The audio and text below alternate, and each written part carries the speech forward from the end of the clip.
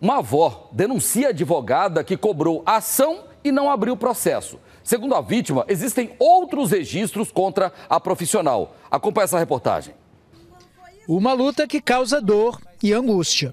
Eu não sei nem como é que eu estou conseguindo ainda dar uma entrevista, porque arrancaram meu coração. Há um ano, Dona Elda luta para ter a guarda da neta de apenas 7 anos.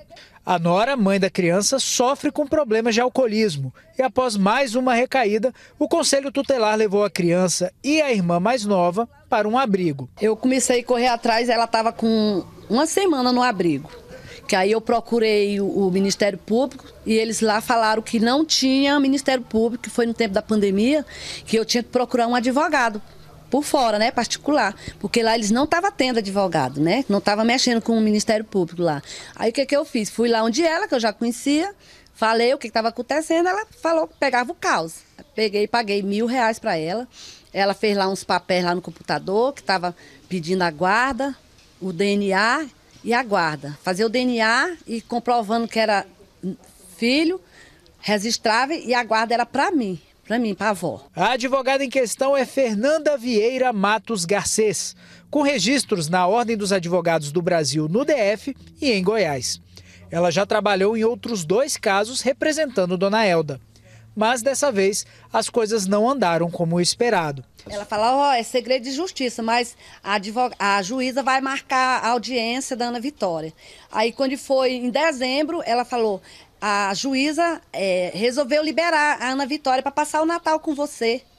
Fiquei toda alegre. Aí, quando foi no dia, eu falei, e aí, doutora, cadê ela? Ah, a juíza vetou. Falei, cara, eu perdi, eu ia até viajar. Eu falei, nossa, ah, vai ter que esperar até 4 de fevereiro. Se ela não conseguiu liberar ela agora, é só 4 de fevereiro. Aí eu atrás, né? Falei, doutora, e o caso da menina? Ela é, tem que esperar, vamos marcar uma audiência. Ela marcou uma audiência com o pai da menina. Aí marcou essa audiência, o menino foi lá para casa dela, né? Aí chegou lá e disse que teve essa bendita audiência, que não foi audiência, foi uma farsa. Uma farsa. Aí eu esperando, esperando e nada. Após descobrir que a neta havia sido adotada por outra família, Dona Elda teve mais uma surpresa. Ao chegar ao fórum de Lusiânia, ela descobriu que a advogada não tinha aberto nenhum processo. Não tinha ninguém no caso da Vitória, não tinha advogado, não tinha nada.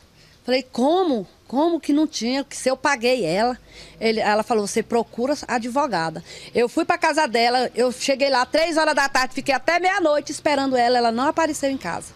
Tinha só a secretária dela lá, visualizava as mensagens e não me respondia. Eu mandava as mensagens e ela não respondia. E aí de lá para cá não vi mais, não tive mais contato. Um áudio de uma ex-funcionária da advogada mostra que ela já sabia que a profissional teria enganado outros clientes. Essa advogada, ela é acostumada a fazer muita coisa errada. Falcatrua, pegar dinheiro dos outros e não trabalhar, ficar enganando as pessoas. Se ela é acostumada a fazer isso, ela é acostumada a fazer os outros de besta. As pessoas vão na casa dela, ela não atende, ela não atende, manda dizer que não vai atender, manda dizer que tá doente, só inventa que tá doente. E, e, e não tá doente coisa nenhuma dentro de casa para não atender ninguém. Nós tentamos falar com a advogada nos telefones informados no registro da ordem. Grave seu recado agora. Eu estou abalada, estou arrasada. O meu psicológico está lá embaixo. Tem hora que eu não sei nem o que, que eu estou fazendo. Eu fico desorientadíssima, desorientadíssima. Trabalhar, eu voltei a trabalhar essa semana, porque eu não estava dando conta. Eu não estava dando conta. Eu não posso ficar em casa sozinha. Eu não tenho condição de ficar em casa sozinha, porque me dá aquela coisa ruim, sabe? Aquela vontade de, de morrer, aquela vontade de, de gritar. Gritar para quem? Para quem? Eu só quero justiça. E eu vou correr atrás da minha neta. Nem que seja a última coisa que eu faça, eu vou correr atrás dela.